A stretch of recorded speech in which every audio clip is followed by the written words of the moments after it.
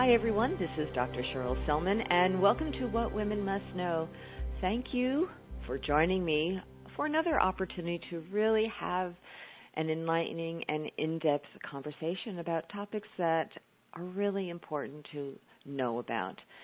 I always say that this show is about empowering you with truthful information so you can make the most informed decisions possible.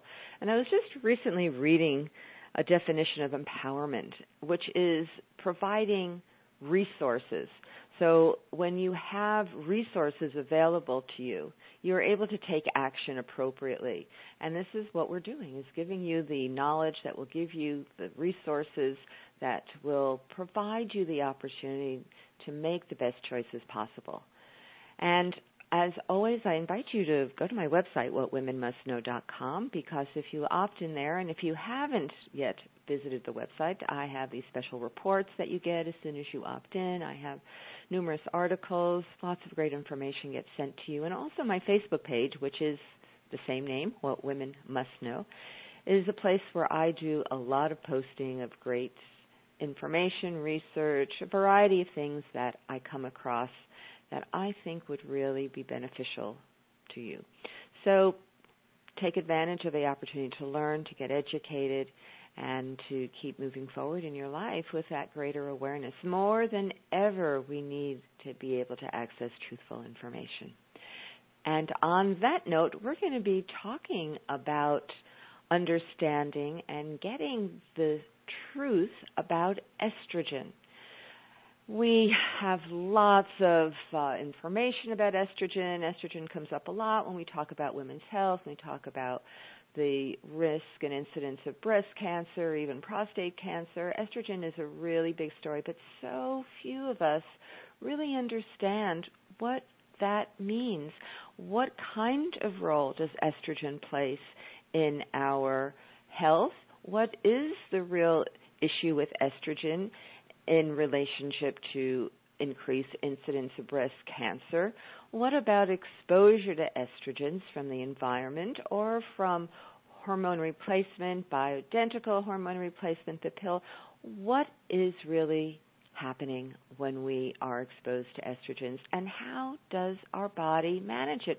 And how does estrogen transform from being one of the most important hormones to support our health and well-being to becoming a molecule, a hormone that can increase our risk of chronic illnesses. A big topic, one that I'm really interested in and have been researching. And to help us understand more about estrogen, I have invited Dr. Michael Nelson to be with us. Dr. Michael Nelson is a chiropractic physician. He has been practicing functional medicine for over 22 years. He is the founder and director of Sierra Tahoe Wellness Center in Reno Lake Tahoe area. His practice focuses on establishing optimal wellness and health strategies for his patients based on the most up to date scientific evidence and the innate wisdom of our bodies. He has successfully treated thousands of patients over the course of his career in an integrated and holistic manner. Identifying and treating estrogen metabolism is a primary focus of his treatment strategies for both men and women. Dr. Nelson has worked with the world's top researchers, physicians, and scientists in bringing cutting edge treatments from bench to bedside. And he has worked for uh, nine years in the neonatal intensive care and ICU setting prior to receiving his doctorate degree in 1993 from the University of Western States in Portland, Oregon. Dr. Nelson has advanced training in functional endocrinology, neurology, uh, orthopedic rehabilitation, gastroenterology, herbal medicine, and integrative cancer treatment. So there is no better person to help us understand this estrogen metabolism story than Dr. Michael Nelson. And it's my great pleasure to invite him to the show today. Hello, Dr. Nelson. Hi, thanks for having me. Well, I'm thrilled that you can be here. We have met at um, one of the integrative uh, conferences in New York City several months ago. We've had several conversations since then, and I'm really so thrilled you can be here because you are such a, a font of wisdom, and particularly in this topic we're going to be talking about today, estrogen metabolism, that uh, I've been looking forward to our conversation, and I know it will be quite an enlightening conversation for everyone. So, so great. Let's just jump right into things, and maybe we need to just start by explaining a bit about hormones and and what is estrogen and what role does estrogen play play in our health for women and for men. Um, okay, great. Yeah. So um, before I just jump right in, um, you, you gave a nice inter, or introduction on what I do and how I do it, and I think it's important to understand how I actually got to where I I got interested in um, hormone um, disruption and hormone patterns in the body, and it all started back in my undergrad days when I was actually working as a in a level three neonatal um, intensive care nursery.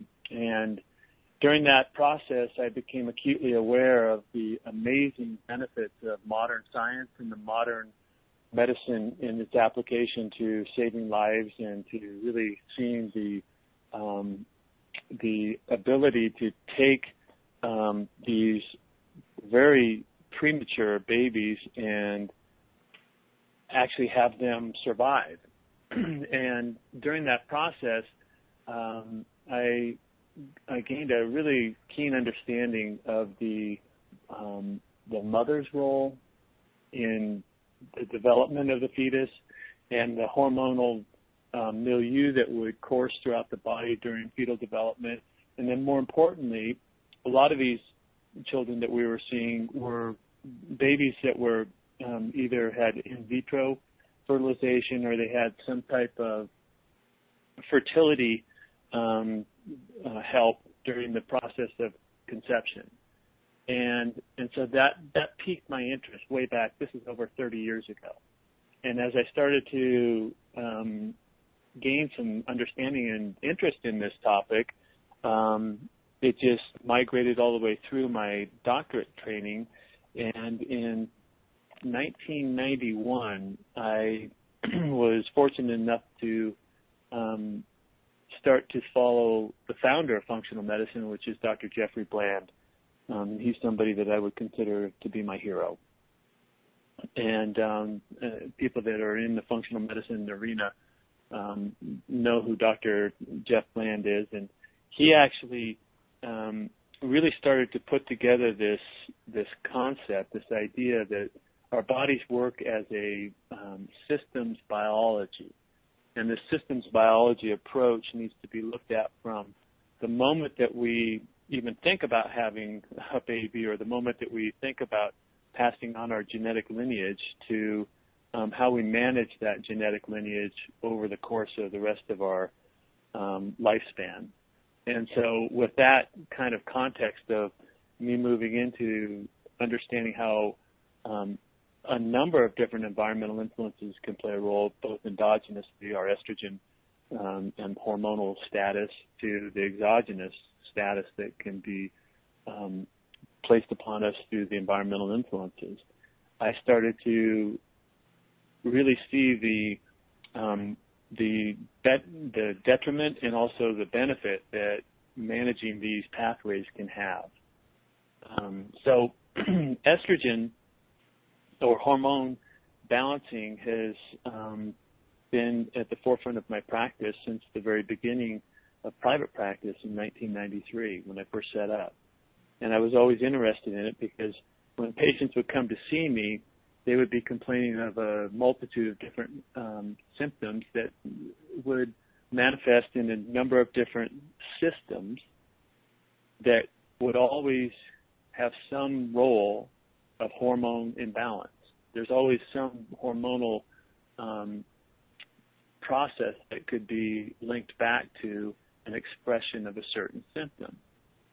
And with that, I started to delve into testing and managing and reading and researching, and the journey um, really to this day has has not stopped.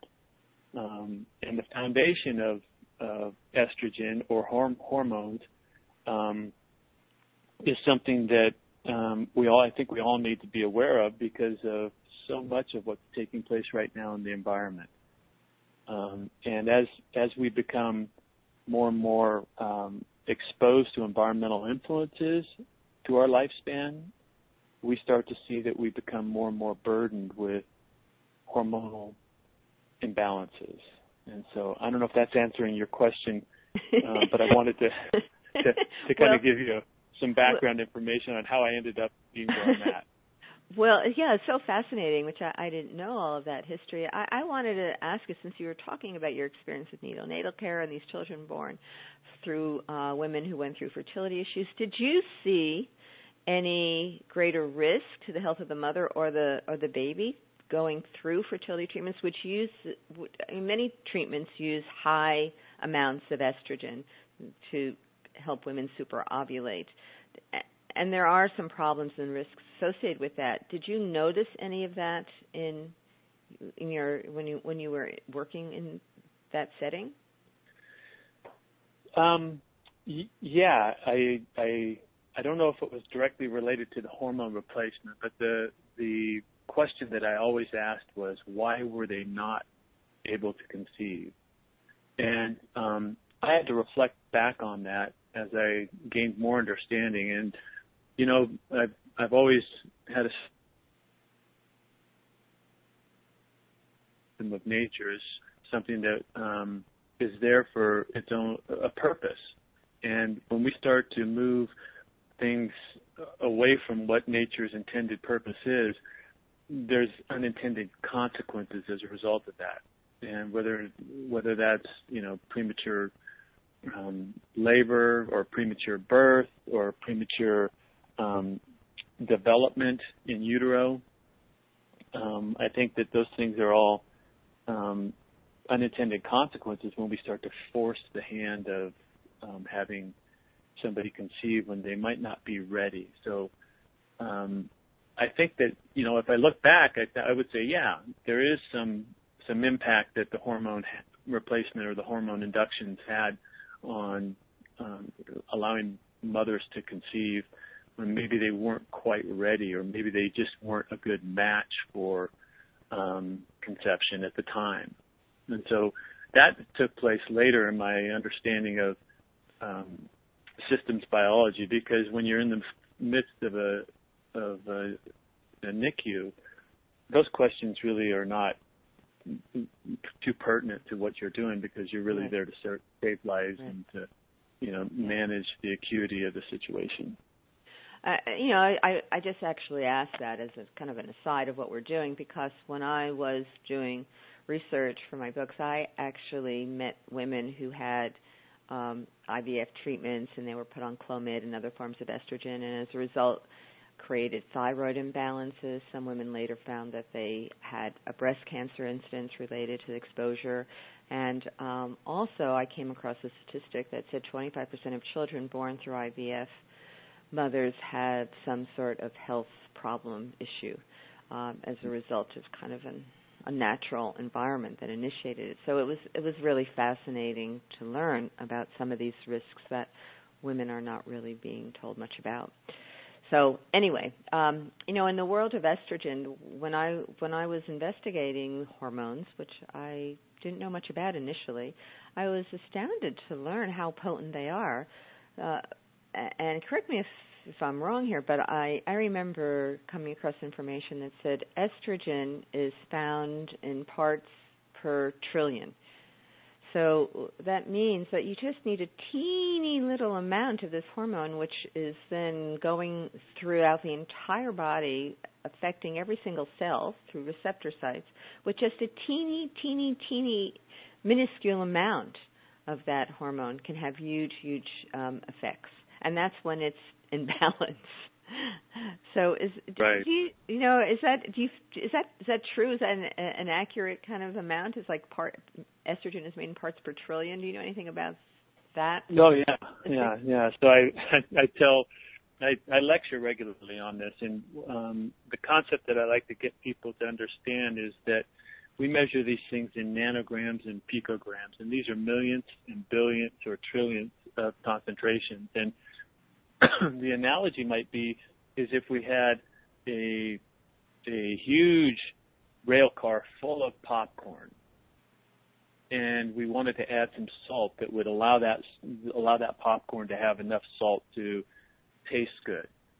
That rail car full of popcorn would be I would take a pinch of salt and that would be the equivalent of having enough salt or estrogen in the system to do its job. And so these concentrations of hormones are extremely low but extremely potent and powerful. And I think that really needs to be uh, understood and emphasized, and, and why, when we get into the topic of estrogens and estrogen exposure, it can play such havoc because it is so potent a hormone, and we are having a variety of sources that are increasing these estrogen levels in our body with consequences. So, when we talk about estrogens, um, we talk about chemicals being estrogenic. Can you help people understand what that means? And uh, when we say a chemical like bisphenol is an estrogen, does does it look exactly to the body like an estrogen, and how is it impacting the body? Yeah, that's a great question. It's a it's a really relevant question that we should all be asking um, on a regular basis when we look at exposure and and overburdening the system with um, chemicals that could be mimicking the effect of estrogen and vying for the same pathways of metabolism of estrogen. And so when when we look at chemistry, there's there's this concept of structure and function. And structure would um, indicate that the the structure of the molecules would be similar. And when molecules have similar structure, they often have similar binding coefficients or binding capacity. And what do I mean by that? Well, if I've got something that has um, a a very similar structure and it fits into a key or fits into a lock, and this is the key that fits into the lock, it's going to bind to that particular structure on the cell and activate or maybe inactivate or block the body's ability to receive the message, or it may turn on the body's ability to receive the message. And that that that process is initiated and started through the structural similarity of the molecule. And so we know that there's molecules that are we're literally swimming in a sea of estrogen, and um, um, this is called xenohormesis, foreign hormesis, or foreign um, substances that are having a hormetic or a homeostatic effect on our body. And so our body's always sensing these molecules at a structural level that gets manifested down into the cellular level because they'll bind to that same site that maybe estrogen might be vying for and either turn it on or disrupt it and interfere with it. And so these things have to be um, looked at from an environmental perspective because, as I said, that little pinch of salt is powerful enough to make that entire rail car full of popcorn salty. And if we're swimming in a sea of these, what we would call endocrine disrupting chemicals, then our body is really um, starting to shift its physiological set point out of balance, and there's going to be adaptive processes that will take place that we we we may not want. And um, so it's important for us to understand that these molecules don't necessarily have to be identical. They only have to be similar. And the similarity is what really triggers the reaction in the in the body to create some of these unwanted side effects that we might be seeing. And here's a little interesting factoid that I came across. When, uh, in the early 30s or so, 30s or 40s, when they were researching hormones and the application of hormones and what could be sources for hormones like estrogen, they actually were researching bisphenol A, which is, of course, a chemical that we find leaching into water from water bottles or from um, the lining of tin cans or now from receipts from supermarkets that are created from heat. Um, this chemical was initially considered to be a um, a chemical that could be used as a form of estrogen for estrogen replacement.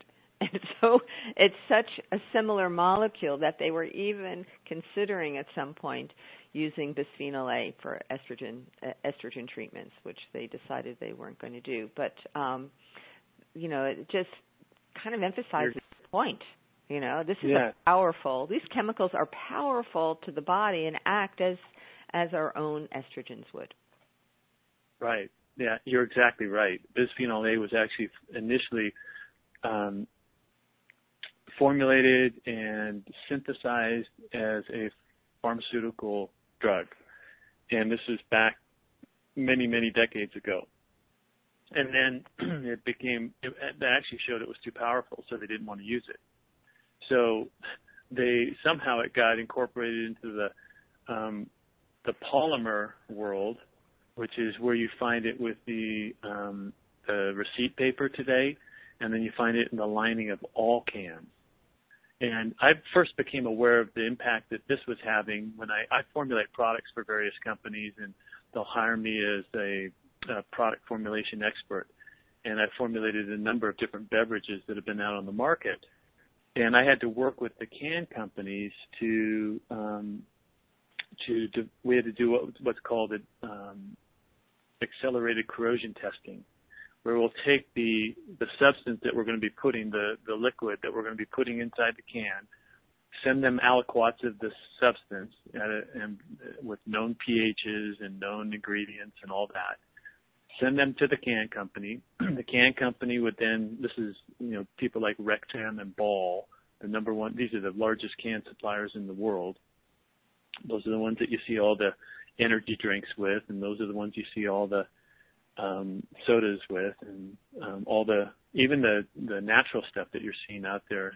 Um, if it's if it's a can, it's probably coming from one of those two companies.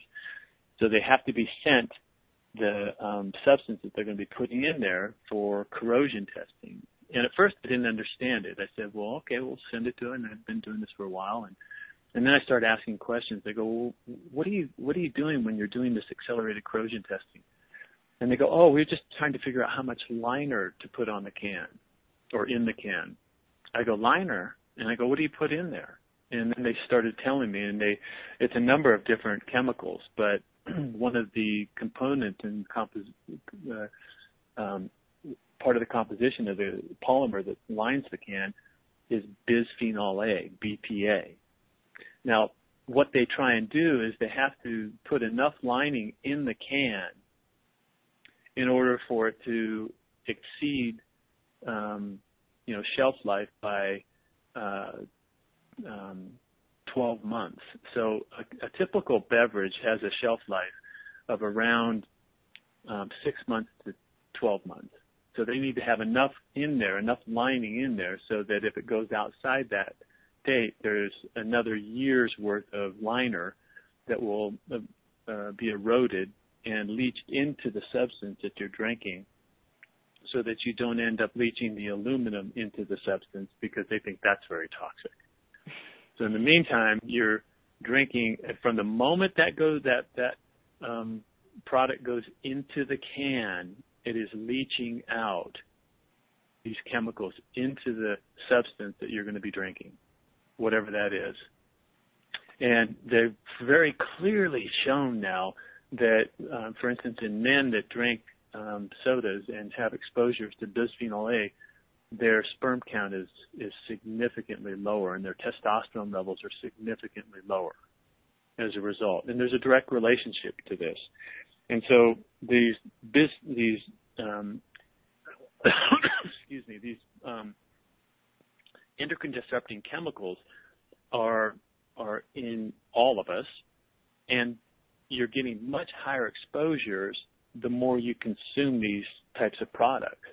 And so there has to we have to be aware of that. Um, and I think the big thing now that's coming out is, you know, even some of these BPA-free polymers are also very um, endocrine have a, a, large amount of the endocrine disrupting chemicals in them as well. So um, we have to kind of start to open up our eyes to, you know, where where are we where are we getting the exposure and how do we minimize the exposures? And it's become so ubiquitous, like you said. We all have these these toxic chemicals of bisphenol A in our system, and I just have to say, I was always surprised to learn that dental sealants, which is, you know, you take your little kids to get your teeth protected, and they put these dental sealants on them. Guess what? Bisphenol A is in those dental sealants, leaching into these kids' bodies not without consequences. And you know, one of the um, areas of research that I've been doing and writing had to do with precocious puberty. So one out of six eight-year-olds, I think that's still a statistic. One out of six eight-year-olds are going into puberty now, and we have to acknowledge that part of what's driving this early, you know, early um, uh, kind of unfolding into puberty is related to these early exposures to all these estrogens and all the sources we've talked about, which is pretty shocking because the earlier a child is going through puberty, the greater their lifetime risk will be of hormonal imbalances, infertility, and of course breast cancer. So, yeah. you know, as you know, there's a term that I've I've heard. I'm sure you've heard of it too. That estrogen is the angel and estrogen can be the devil. You know, it just depends mm-hmm. how you know the amounts that we're exposed to and the, and when and how it's processed. And so, you know, estrogen is a really big story. And we need to understand it. And, and we all are now familiar with a term called estrogen dominance, which is recognized that we are generally experiencing an excess of estrogen, much higher levels than uh, we should be, and it puts all the other hormones out of balance. So it can bring progesterone down, it can bring our thyroid down, it can increase in- insulin, it can in, um, increase cortisol levels. Everything starts going out of whack when one critical hormone is out of balance. Can you comment further about that?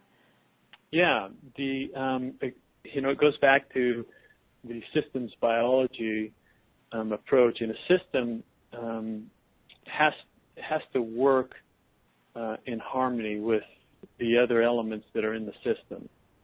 So, if you uh, a, a fish tank is a great example. A fish tank, if we start to see algae starting to grow inside that fish tank, the entire environment of that fish tank starts to shift and change, and then the consequence is, is that the health of the organisms that are living inside that are all going to be subjected to the impact that that particular um, environmental stimulus is having on the species that are living inside there. So if we if we take hormones for example, and we look at the impact that hormones have on our body when they're in balance, it's it's it's quite pleasant. It's beautiful. It's harmonious. It it helps to um, maintain the vital essence of who we are and maintain the integrity of who we are um, in a number of different ways, physically, chemically, psychically, or, or emotionally. And then when these hormones start to shift out of balance because one starts to own the physiology then all of the hormones have to react in such a way to adapt to that one particular dominant feature or maybe the lack of that. For instance, if you have a hysterectomy, then you start to see a shift in all the hormones as a compensatory mechanism because they work in in in harmony and and in in like just like an orchestra, like a symphony. And if you've if you've ever been to a a uh, an orchestra and, and you watch them when they're first warming up, it's discordant. There's nothing taking place, and it's like, wow, I hope they start to sound better. And then the conductor, which is typically your brain, um, when the conductor gets up there and taps on the podium and taps on the uh, the um, the the area where he's he's getting ready to conduct, and everybody stops, and then everybody gets ready, and then he starts waving his wand, and everybody's playing in in the, at the same tempo with the same music, and it's a beautiful sound that can be made. And yet, if you've ever had, I've got three kids, so and they all have been playing music, so if you've ever gone to their recitals and you've watched, you've sat through the recitals, you can you can hear that they just haven't quite got it yet. And then as they progress with their abilities, um, they start to sound a lot better. And that's how your body works too. So we have to have a um, a harmonious relationship with all the hormones because when one's out of balance, they all have a tendency to move out of balance as well. So that was great, a great explanation. Thanks for that. And um, I, I want us to talk about this concept called estrogen metabolism. People may have heard of it, but I don't think it's really fully understood, nor the implications of what happens when estrogen is uh, metabolized through the liver and what you know what needs to go on and what are the risks if it is not properly metabolized. So let's this is a really big topic, so we're going to spend some time and help people really understand this. Sure. Um, all all hormones have to be metabolized and eliminated, and um, estrogen is no excep- exception, and neither is um, testosterone or progesterone. They're all metabolized, and the the the reason estrogen becomes such an important um, metabolic pathway or the, the ability to metabolize estrogen is because when it's left only partially or unmetabolized, it can set the stage for the what one might consider as the oncogenic potential, this potential for developing unwanted side effects to tissue in the body. And primarily estrogen um, maybe estrogen sensitive tissue, even though all, all tissue has an estrogen receptor on it.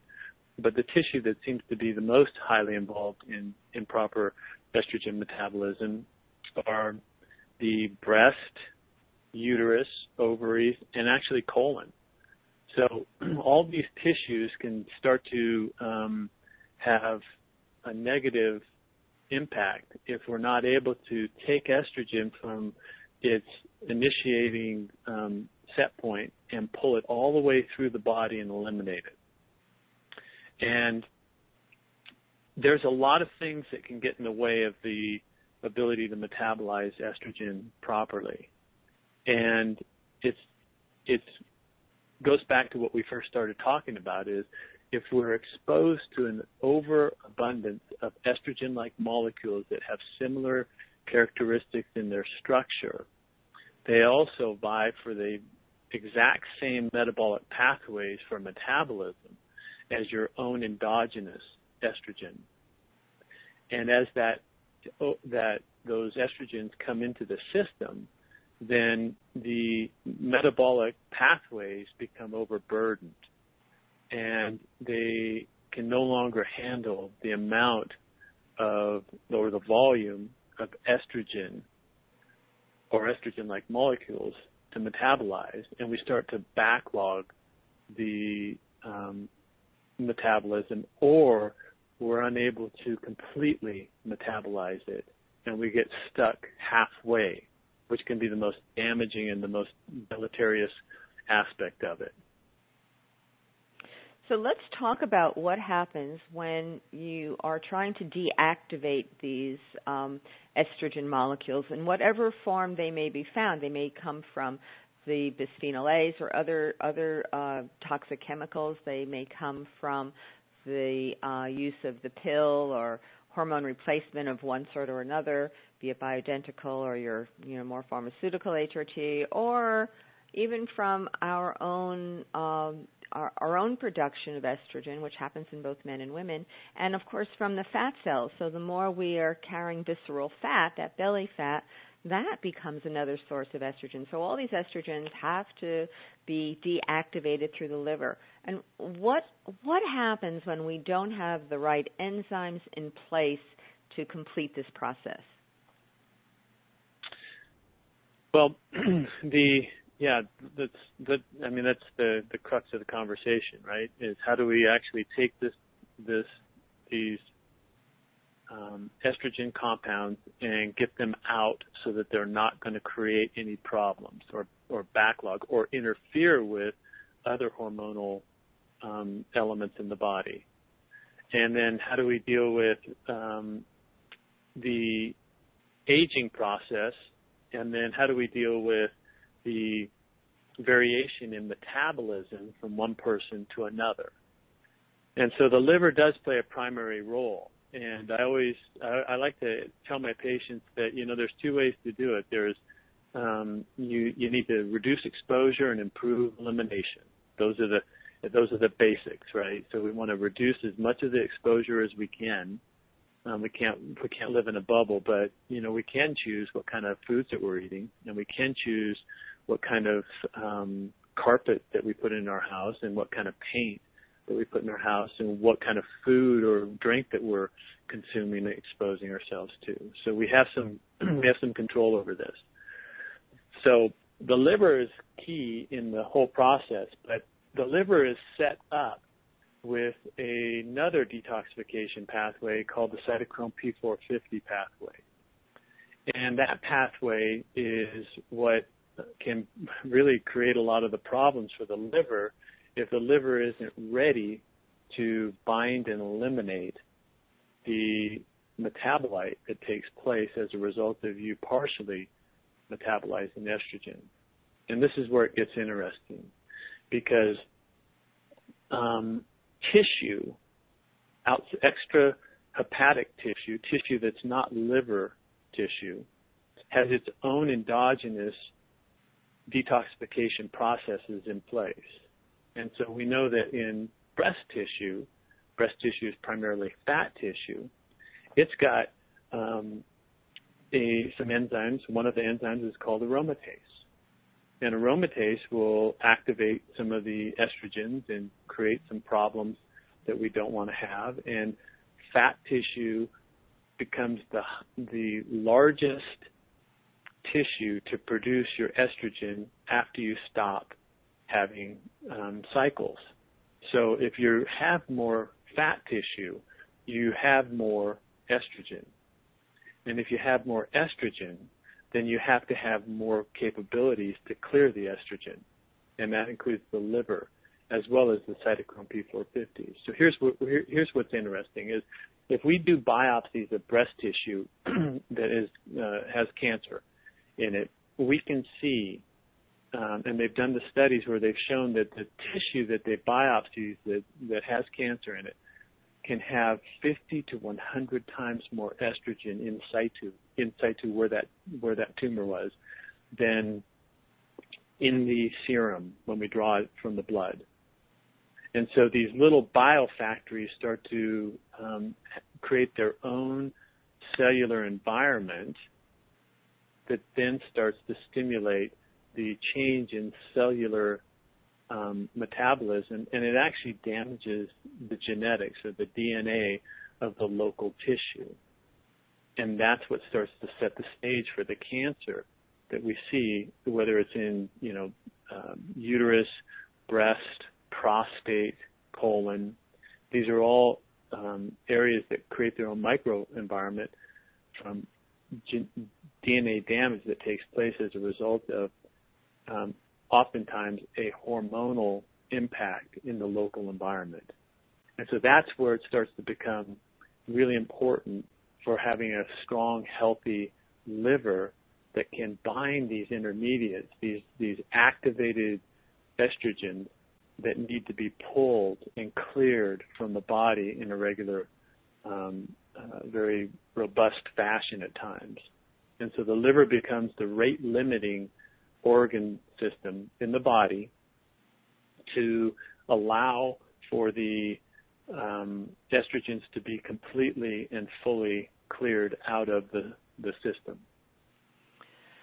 So that's you know this is so profound. Let me just say the reason why I I even want to have this conversation has to do with the fact that in the 3 years that I've been using nutrigenomic testing, which I've done various shows on, uh, I I found that there are certain inherited genomic tendencies. I call them the software of the of the DNA that can be altered through environment. That that up to I would say more than 95% of people I've tested and tested about 300 people so far so that's my sample, about more than 95% of people have inherited instructions for the clearance of estrogen that is impaired.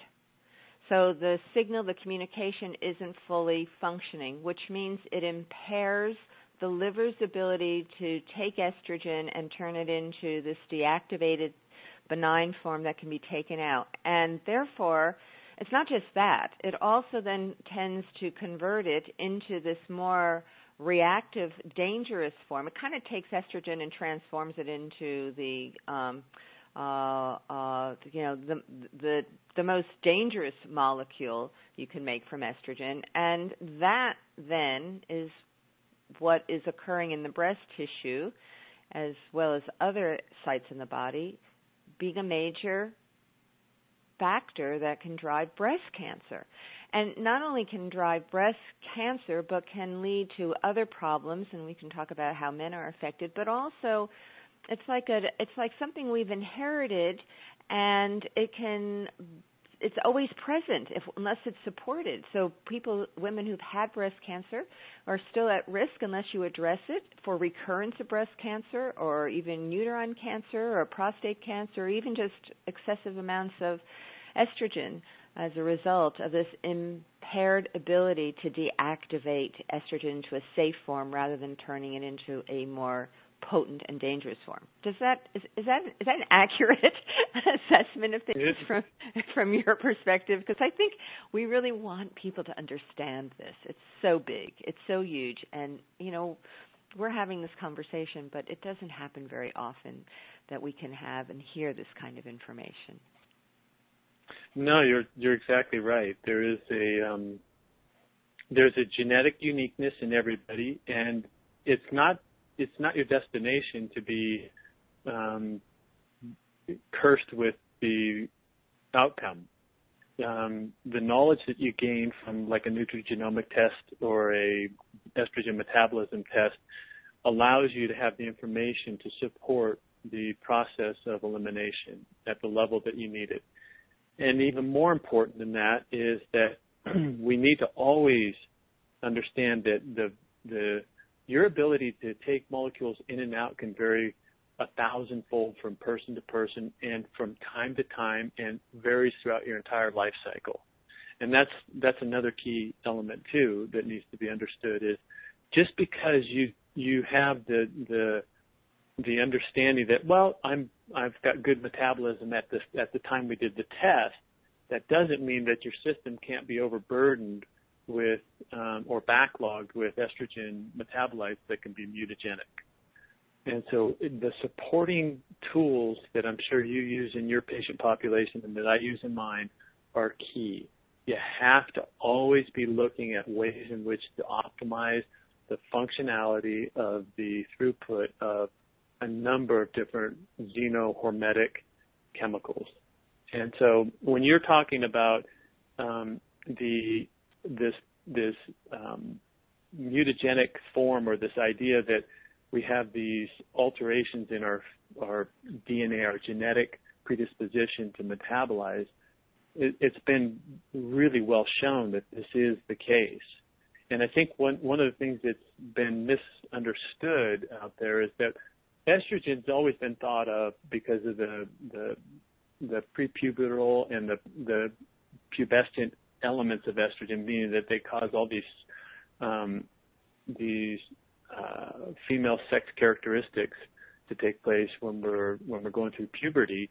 We think that estrogen is basically a cell proliferative um, hormone.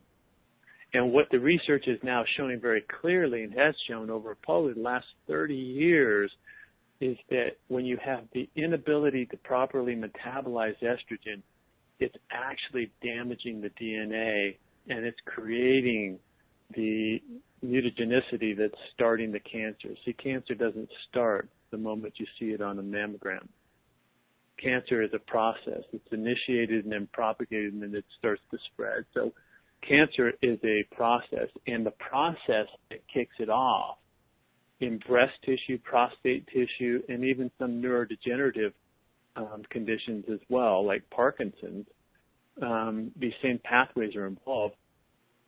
starts at you know 20, 30 years before you actually get the diagnosis. And so having um, a good understanding of what you need to do to support your body's ability to take these estrogens and clear them and reduce exposure and to promote proper um, cellular health at the at the tissue level is absolutely key for surviving today's very complex environment. This the environment that we live in today is the most um, complex as far as novel chemicals that we've ever been exposed to in the history of mankind. And so this um, this complexity has created a lot of opportunity to be um, exposed to um, intermediates, these biotransformed intermediates that can create problems um, in our bodies that might manifest as cancer or some other um, con- chronic condition that we don't want to deal with. So, one of the most important things I hear from what you've been sharing is the necessity to support this pathway, this pathway that clears the estrogens and in, ensures that they get turned into the right form for all our health, for men, for women, women of all ages, women who've been dealing with chronic illnesses uh, or cancers. We all need to understand this has to become, in my my my belief, a, a primary part of our protocol. Things that we have to take on a daily basis to support our health. So, um, what are some of your favorite strategies? And I think we should start talking about sulforaphanes and broccoli seed extract products because this is what I've been looking into and I'm very excited about, and this is a topic that I know is also dear, near and dear to your heart. So let's talk about one of the most powerful ways to support this estrogen metabolism. Yeah. So um, if you look at the if you just look at cancer in general and you look at the epidemiology associated with cancer, there's a clear indication that fruits and vegetables definitely promote um, a healthier um, outcome and less cancer. So we, we know that, right? That's an easy uh, assumption to make and it's an easy conclusion to, to make when you read the literature. And then when we dig down a little deeper, we start to look at hormonal related cancers and we start to look at things that um, are related to metabolism of xenohormetic compounds and hormone-like compounds and hormones in general, um, you can drill down a little deeper and you can start to say, well, what exactly and what foods seem to confer the greatest benefit for reducing risk and promoting proper metabolism of these compounds?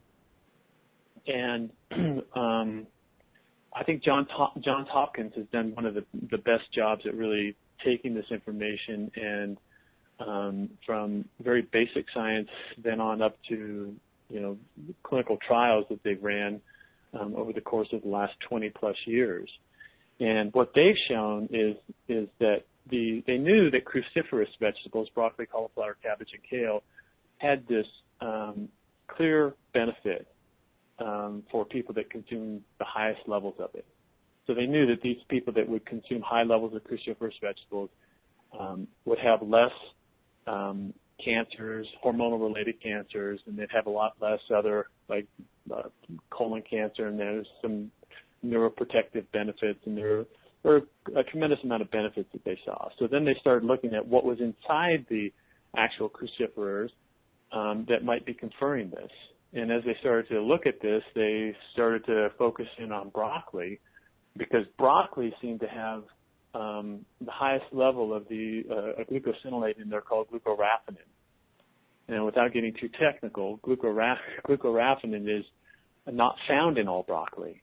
In fact, there's over 80 varieties of broccoli, and you, you people recognize this by looking at the broccoli and um, seeing how how the florets are clumped together, tighter or maybe looser in some, and so that's a that's a variety of broccoli that's different, one from the other.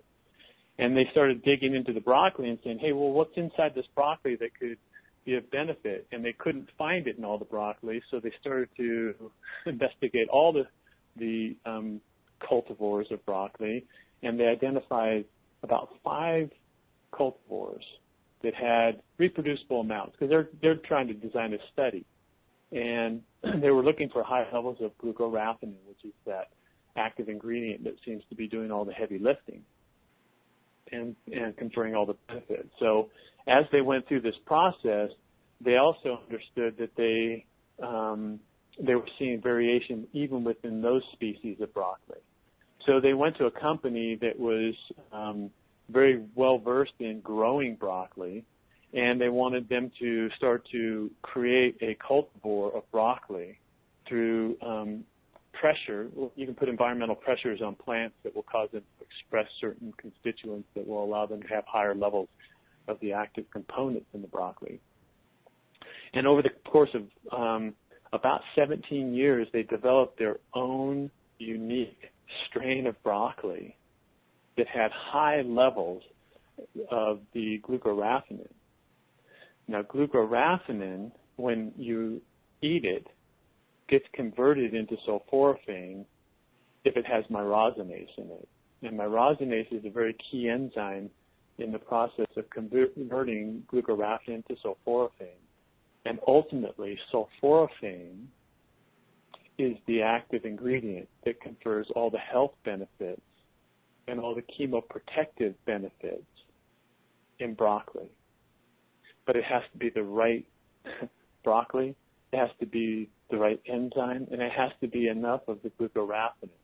So it gets kind of complicated when you start to think of maybe I can just eat broccoli and get the benefit. And, and there's there's there's some rationale for that because it's got fiber, which will help to also bind and eliminate certain hormones that get um, uh, stuck in the intestines, and you can get rid of them that way. But the real magic, the real benefit, is getting a broccoli or a nutraceutical of some sort that has a high level of the glucoraphanin combined with myrosinase.